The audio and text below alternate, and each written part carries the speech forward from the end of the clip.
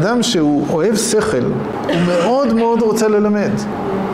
כי הוא יודע שכשהוא ייפגש עם אנשים והוא יצטרך להסביר את זה, הוא יגיע לתובנות חדשות שהוא לא יכול להגיע בשום דרך אחרת. הוא יכול לשבת את עצמו עד סוף כל הדורות, הוא לא יגיע לזה.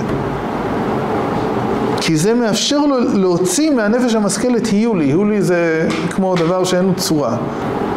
זה חומר בלי צורה, זה החומר הכי ראשוני.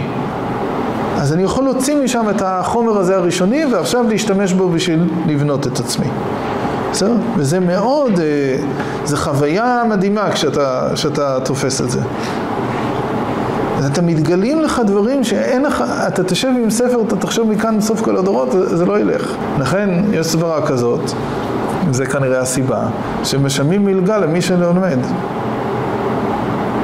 בהתחלה זה לא, כאילו, תואר ראשון זה לא. אבל אחר כך רוצים לתת לו מלגה, למה? כי מי רוצה שהוא ילמד?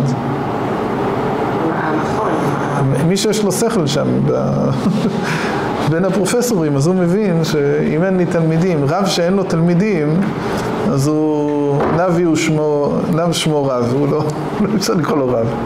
הוא קטן מאוד, כי אין לו שום מקור של התחדשות. הוא חייב את זה. אז הבן אדם קולט את זה, אז הוא, אז הוא מתמכר לזה גם, הוא חייב תמיד שיהיה לי. ולכן כולם מחזיקים ישיבה, למה הם מחזיקים ישיבה? זה, זה, זה לגמרי...